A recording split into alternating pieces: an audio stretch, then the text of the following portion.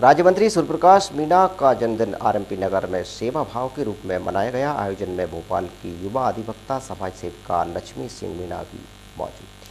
को पाठ्य सामग्री भेंट की गई। भोपाल की अधिवक्ता लक्ष्मी सिंह मीणा समाज सेवा के क्षेत्र में, न केवल भोपाल बल्कि विदिशा की लटेरी क्षेत्र में भी प्रख्यात हैं। उनके सैकड़ों समर्थक लटेरी और आनंदपुर में जन चेतना मंच के माध्यम से समाज सेवी गतिविधियाँ संचालित करते हैं।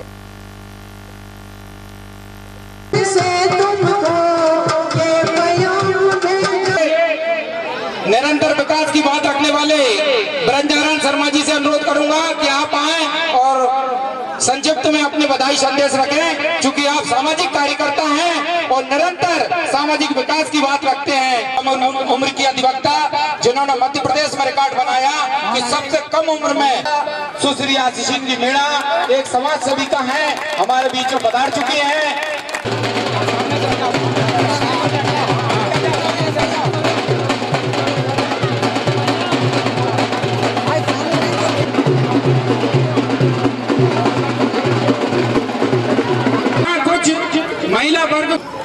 धर्मेंद्र पाटीदार, ये जन चेतना मंच के अध्यक्ष हैं। निरंतर इनको सामाजिक कार्यों में गति मिलती रहे।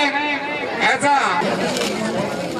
आदरणीय लक्ष्मी सिंह जी मीणा सभी को मेरा कोटि कोटि प्रणाम। जैसा कि हमें मालूम है कि आज हम यहाँ किस उपलक्ष्य में उपस्थित हुए हैं। ये बहुत ही हँसी, खुशी और उल्लास का दिन है हम सभी के लिए। तो महोदय, हम सभी के समक्ष यहाँ उपस्थित हैं और आज उनका जन्मोत्सव है, जिसमें हम सभी यहाँ उपस्थित होकर उनकी खुशी और दीर्घायु के लिए उपस्थित हुए हैं। माननीय मंत्री जी मीणा समाज के ही नहीं, बल्कि सर्व समाज के लोकप्रिय हैं। जैसा कि हम जानते हैं कि माननीय मंत्री जी को बैठ किया जा रहा है। आयोजन समिति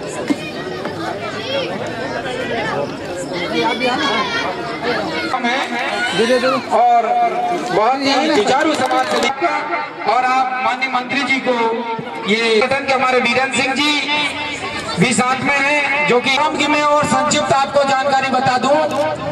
कि हमारे जन चेतना मंच के धर्मेंद्र जी पार्टी जाकर उसके माध्यम से जनता की मैं सेवा करूँगा। लेकिन किसी कारण पर